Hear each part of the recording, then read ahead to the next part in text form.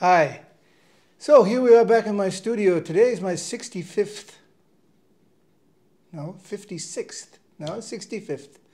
I always get it wrong because in Germany they count backwards. They always say 56 instead of 65.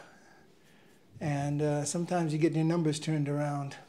But today is my 56th birthday, and this is my son, the last man with the horn, YouTube 22. We faded out with a picture of my son and I. And Mike, if you can just turn and take a picture of that. That's what we faded out with. Sean was eight at that picture. It was in the summertime. And here he is, my son Sean Gabriel. He's 26 now. He just had his birthday in December, December the 15th, right, Sean? Right. Yeah, I named Sean Sean Gabriel after uh, the angel blowing trumpet Gabriel and Sean Connery, a real Scottish man's man. In the, we are Celts, and uh, well, the Stuart family. I think it's internationally quite well known. What is the Stuart battle cry? Uh, courage grows at a wound. Courage grows at a wound.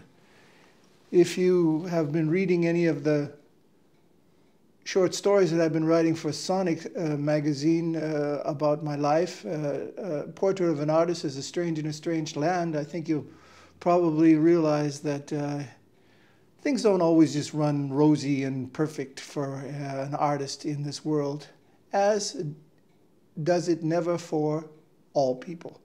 The reality is is not everybody's on your side and uh, the better you get at what you're doing the more people want to be doing what you're doing and they don't understand why you are not necessarily on the top but near the top. They want to climb on top of you to get farther ahead and sometimes they'll do bad things uh, usually it ends up coming back very quickly on themselves but if you don't maintain a sense of humor and understand that not everybody's on your side, think that, you know, put on rose colored glasses, then you'll be pretty unhappy in your life sooner or later. But I'm not unhappy with my life. I've survived now 43 years in Germany since 1978 when I came here. And that's not an easy feat. It's not an easy feat.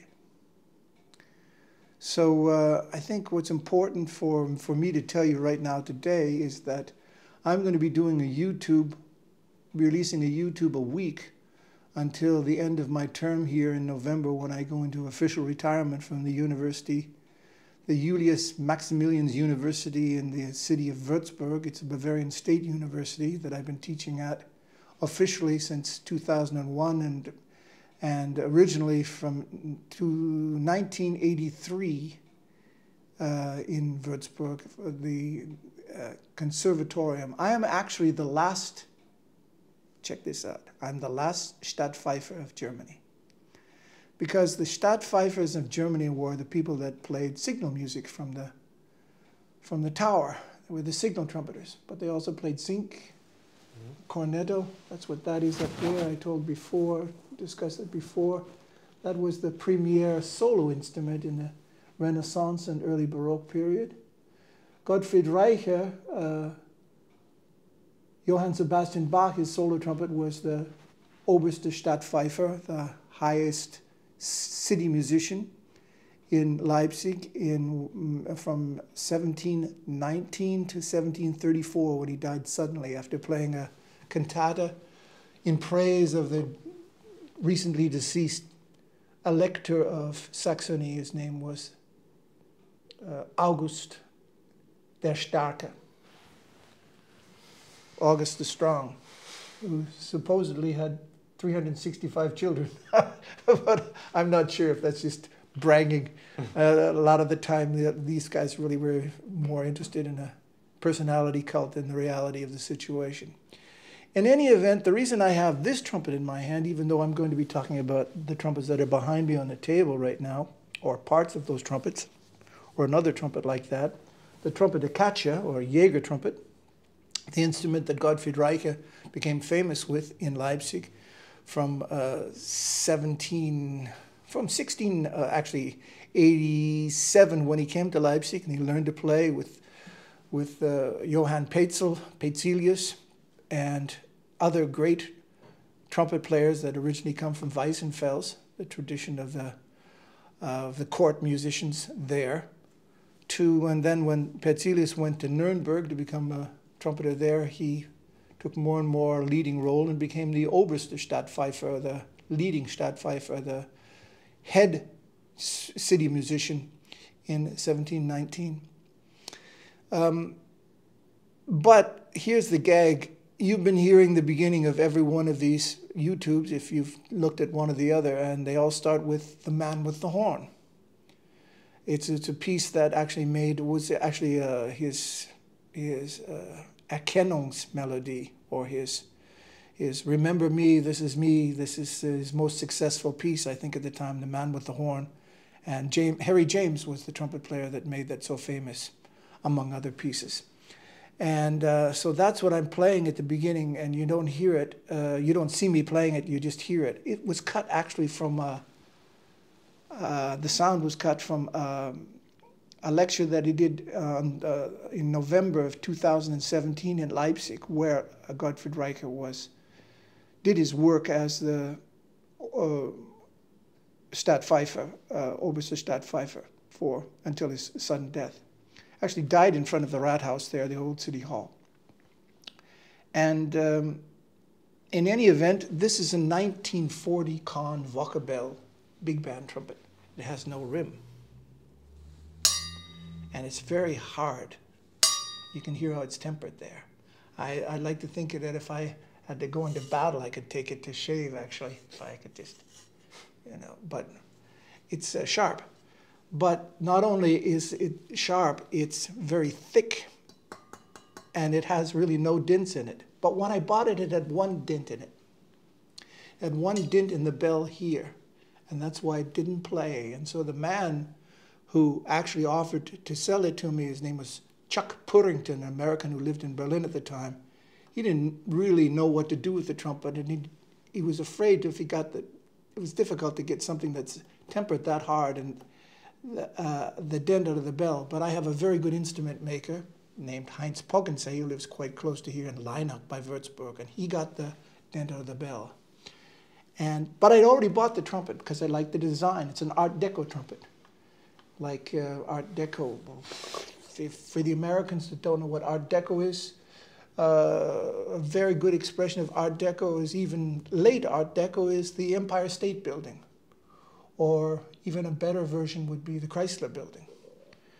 But you can see that it has wonderful little water keys here, reset uh, with uh, the springs inside. It's very cute. Look like little toucans. Here, and uh, it has little, um, uh, well, actually, all, the design is sort of Darth Vader, actually, if you think about that, which is actually more Art Deco than anything else. Darth Vader from Star Wars. This is the very first heavy mouthpiece that I had made to fit this mouth, fit this trumpet. And it was made actually in two parts because uh, um, it was difficult to make this design. So it actually was two parts and then soldered together was made in uh, the Klier factory, Joseph Klier factory in Diespeck by Neustadt Aisch here in Germany in Franconia by Joseph. Joseph Klier? No, his son Roland made it for me. Roland's about 80 now. He's retired. And he made it in two parts, handmade on the lathe, to fit this trumpet. So it's, it's more or less like a bayonet. It goes in and you, you know, it's tight. And this trumpet I played for a couple of very interesting things, but the most important thing uh, as lead trumpet of this the second German radio and television big band.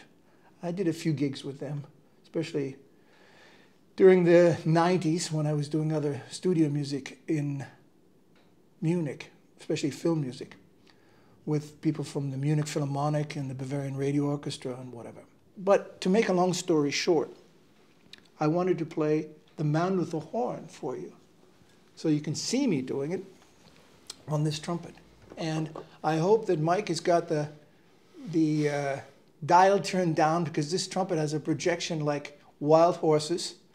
Um, as a matter of fact, the guy that used to, who made this trumpet, among others, Cootie Williams, made this trumpet famous, but also a guy named Al Porcino, who was the lead trumpet for the big band recordings of Frank Sinatra in New York in the 60s and 70s. I actually worked with him in the 80s, early 80s in Nuremberg, when we were, I was recording for an ensemble that I'd named the Golden Brass. It became the, the pop part of German brass later, but together um, with uh, Enrique Crespo. Um, later, we uh, formed the large ensemble German brass. And um, our, I think our most important early recording was Bach 300, recorded in 84, came out in 85 to, to commemorate the 300th anniversary of Bach's birth, 1685. He lived to 1750. In any event, so the man with the horn uh, is the piece that I play at the beginning, and it's the uh, the, the the melody that uh, Harry James used to play. And so here it is.